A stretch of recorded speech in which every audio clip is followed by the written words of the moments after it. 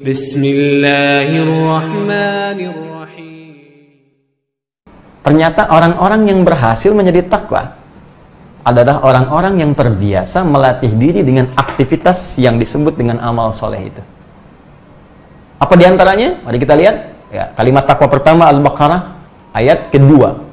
Dzalikal kitabula raiba fi hudalil muttaqin. Ya. Ini Al-Qur'an jangan diragukan. Dia berasal dari sumber yang sangat jauh dari apa yang kita bayangkan. Jangan nuduh sembarangan kalau nggak punya hujah. Maka ia akan jadi petunjuk bagi orang takwa. Siapa orang ini? Apa aktivitasnya? Apa pekerjaannya? Sehingga disebut oleh Allah sebagai orang takwa. Aktivitasnya apa? Maka dirinci di ayat 3, ayat 4 sampai mendapatkan di kebahagiaan ayat 5-nya. Alladzina yu'minuna bil ghaib wa yuqimuna. Yaitu orang-orang yang terus meningkatkan imannya. Tuh, dasarnya iman dulu. Ya, wa yuqimuna shalah. Maka ia berusaha mendirikan sholat dengan sempurna. Aktivitasnya, lihat, tak kerja, bermakna aktivitas. Apa di antara aktivitas takwa itu? Salat. Wa mimma razaqnahum yunfiqun. Infaq. Ya? Walladzina yu'minuna bima unzila ilaik dan mereka yakin terhadap apa yang diturunkan kepada Muhammad sallallahu alaihi wasallam. Apa yang diturunkan kepada Nabi Muhammad? Al-Qur'an. Tuh. Nah, Kasih contoh lagi tiga. Ini aktivitasnya. Perhatikan. Orang sholat, orang sholat itu bagian dari takwa. Kesimpulan terbaliknya, maka orang takwa itu punya aktivitas. Apa pekerjaannya? Rajin sholat, rajin infak, ya, rajin berinteraksi dengan Al-Quran. Ini baru tiga kita turunkan. Ya. Karena itu saat Ramadan, aktivitas ini pasti banyak muncul. Silahkan cek. Sholatnya pasti akan meningkat. Mohon izin, ketika kita belum masuk Ramadan, mungkin sebagian orang hanya berusaha menjaga sholat fardunya. Yang penting lima waktu nggak tinggal. Belum tentu dia duha, belum tentu syuruk, belum tentu tahajud. Ya kan? Belum tentu rawatib sempurna. Tapi dahsyatnya Ramadan bisa menjadikan seseorang sampai begitu perhatian pada sholat sunnahnya. Bahkan ini musim-musim sekarang, PSBB ini, ya, yang kita diminta dengan segala keterbatasan kita untuk mengerjakan aktivitas di rumah, itu pun yang difikirkan, Masya Allah, tarawihnya. Pada tarawih sunnah kan? Ini sangat menarik gitu, tarawihnya. Nah, jadi dahsyatnya Ramadan itu bisa meningkatkan kualitas ibadah. Jangankan yang fardu, sunnah bisa meningkat. Ini. Salat. Jadi teman-teman sekalian, ketika kita masuk pada bulan Ramadan, kutiba alaikumusiyam, maka Allah akan melatih kita untuk meningkatkan kualitas dan kuantitas sholat kita. Karena itu bentuknya menggunakan tatakun, salah satunya dengan menggunakan pemaknaan waktu sekarang. Sekarang di sini konteksnya masuk Ramadan. Ini orang takwa itu begitu masuk bulan Ramadannya, insya Allah bila tidak ada halangan kita mulai esok hari, hari Jumat, ya begitu masuk sekarang karena konteks ayat ini ayat tentang Ramadan dimulai puasanya. Ini begitu masuk bulan Ramadan, dia berusaha meningkatkan ibadah sholatnya. Ini pertama. Jadi kalau anda ingin lihat apakah anda termasuk kandidat peraih orang takwa atau tidak, kandidat yang masuk dalam kategori berhasil puasa atau tidak, lihat nanti mulai malam saat masuk berganti waktu ke maghrib naik boleh masuk malam Ramadan malam pertama ya, maka kita cek nanti ada nggak ibadah salat di malam harinya cek oh ada ternyata. Ya qiyamnya qiyam Ramadan. Dalilnya hadis Nabi SAW man qama Ramadan imanan wa ihtisaban ghufira lahu ma taqaddama min dhanbi. Siapa yang bisa menghidupkan qiyam bangun salat di malam-malam Ramadan dengan penuh keimanan dasarnya iman ini wahtisaban ketulusan mengharap ridha pahala dari Allah mengoreksi dirinya ya ghufira lahu ma taqaddama min dhanbi. Begitu ditunaikan ikhlas karena Allah koreksi diri taubat kepada Allah seketika diampuni dosa-dosanya oleh Allah dari sejak ia berbuat kesalahan saat balik sampai malam itu. Dan dia punya amalan pertama kali sujud. Yang jadi kebanggaan di hadapan Allah. Bukankah kita dimuliakan dengan sujud itu? Ya bukankah perkara sujud yang mengangkat kita dan merendahkan syaitan? Iblis tidak mau sujud ya sedangkan kita mau sujud di hadapan Allah. Dan dengan sujud itu malaikat diperintahkan untuk hormat kepada Adam alaihissalam jadi kalau manusia pernah punya amalan sujud maka itu jadi salah satu kebanggaan di hadapan Allah subhanahu wa ta'ala. Karena itulah sujud yang kita lakukan dalam salat menjadi amalan pertama yang akan dihisab di hadapan Allah subhanahu wa ta'ala. Nah ini jadi konteks ini sekarang konteks Ramadannya jadi begitu masuk Ramadan salatnya meningkat. Nah, karena itu coba siapkan dari sekarang Saya sarankan siapkan agenda Ramadannya. Salat apa saja yang bisa ditunaikan dalam sehari. Malam ada apa? Ada tarawih. Malamnya bisa ada kesempatan tahajud kalau nggak memberatkan kita untuk sahur kemudian dan beraktivitas esok harinya. Karena sekarang banyak di rumah, kita bisa hidupkan. Ya, kemudian masuk keesokan harinya dua rakaat sebelum subuh, ya. Ada salat duha antara subuh ke zuhur. Ada qabliyah zuhur, ba'diyah zuhur saya ada pertanyaan Ustadz, kalau saya sholatnya di rumah, qobliyahnya qobliyah masih berlaku tidak? Masih berlaku. Karena qobliyah itu nggak ada kaitan dengan masjid dan di luar masjid. Walaupun sholatnya di rumah, ketika azan berkumandang selesai, ada qobliyah, silahkan tunaikan qobliyah. Setelah selesai mau ba'diyah, silahkan tunaikan ba'diyah. Karena sholat itu ditunaikan bukan terkait dengan keadaan Anda di masjid atau di luar masjid.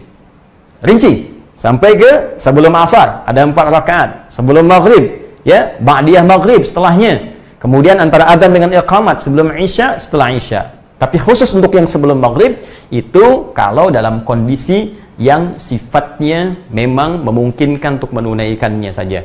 Ya kata Nabi SAW bermakna sallu rak'ataini qabla al-maghrib wa la tattakhidhuha sunnatan. Silahkan sholat dua rakaat sebelum maghrib tapi jangan jadikan kebiasaan karena kondisi tertentu saja.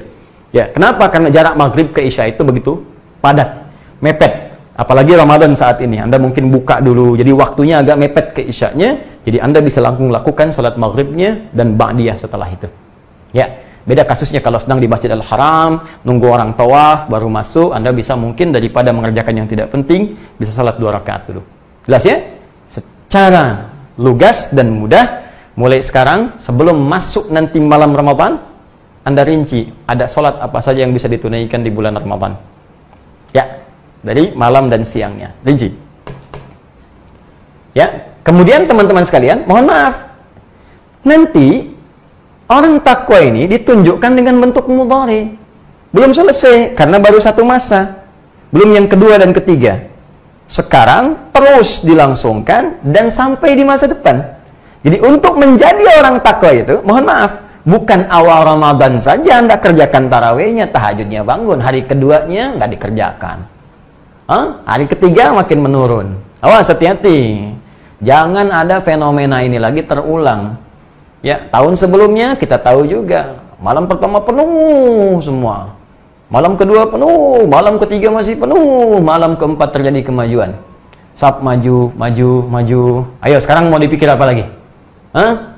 Mudik sudah Allah tanamkan. Pemerintah mengatakan dilarang mudik tuh.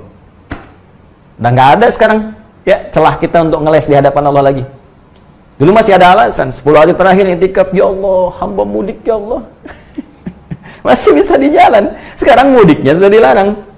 Ya, ya pelarangan ini untuk kebaikan kita juga supaya tidak menghambat virus itu kemudian menyebar di daerah-daerah yang sebelumnya telah kemudian dijaga dengan baik.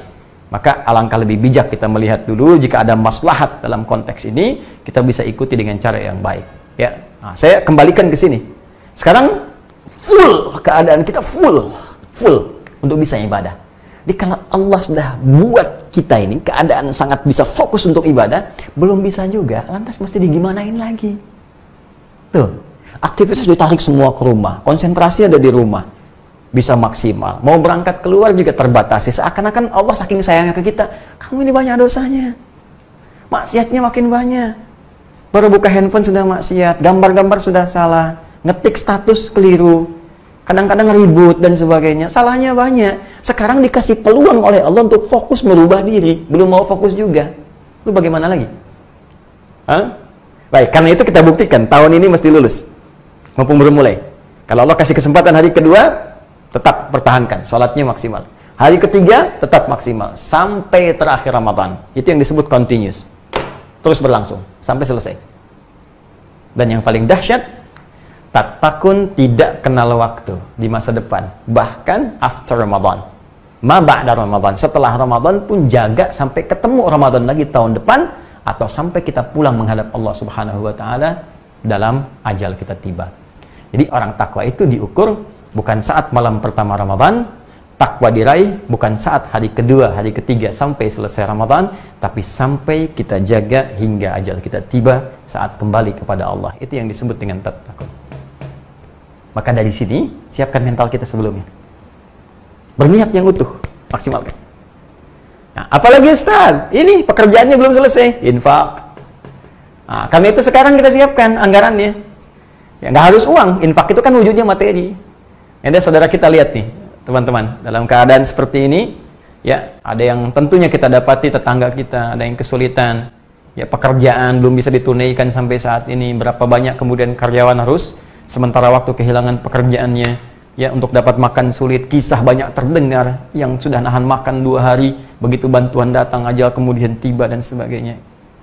Barangkali ditampakkan oleh kita kepada Allah supaya kita semua bisa beramal saleh. Ya, kita jangan melihat ini beban si fulan si fulan. Tanyakan saja, keimanan kita akan mendorong kita untuk berbuat baik. Apa yang kita bisa lakukan sehingga ringan hisab kita di hadapan Allah Subhanahu wa taala. Sepanjang kita bisa melakukan itu. Walaupun kata Nabi hanya sebiji kurma. Walaupun hanya sehirup air. Sehirup kalau sekarang satu sedotan ya tapi itu kalimat kiasan ya. Ingat kalimat kiasan. Jangan sampai Anda ke tetangga cuma satu biji kurma. ya. Satu sedot, sudah itu ambil lagi katanya. Eh kok cuma sesedot? Hadis Nabi Pak, maaf. Bukan. Ya, itu Anda yang belum paham. Jadi itu gambaran kata kiasan saking pentingnya berbagi khususnya di bulan Ramadan untuk melatih kita. Dan pertahankan itu. Jadi kalau Anda lulus pada Ramadan, maka akan tumbuh sifat tawadu, sifat dermawan, tidak rakus dengan dunia. Wah, kalau udah bisa ngalahin dunia enak deh pokoknya. Nggak ada beban. Ya, nggak ada nggak tekanannya nggak tinggi. Ini banyak orang tertekan itu karena kalah oleh dunia. Jadi ingin mendapatkan sesuatu kadang-kadang yang belum dibutuhkan. Banyak yang aneh manusia itu. Ya anda itu saya kita tidak dihisap untuk yang besok. Dihisap tuh yang sekarang. Ngapain anda banyak mengerjakan untuk yang besok merencanakan tuh harus tapi memberikan beban untuk sesuatu yang belum tentu anda dapatkan dan anda kerjakan untuk apa maka nikmati kehidupan. Allah atur rezeki kita, Allah atur ibadah kita. Kenapa kemudian kita ikut mencari sesuatu yang belum diatur?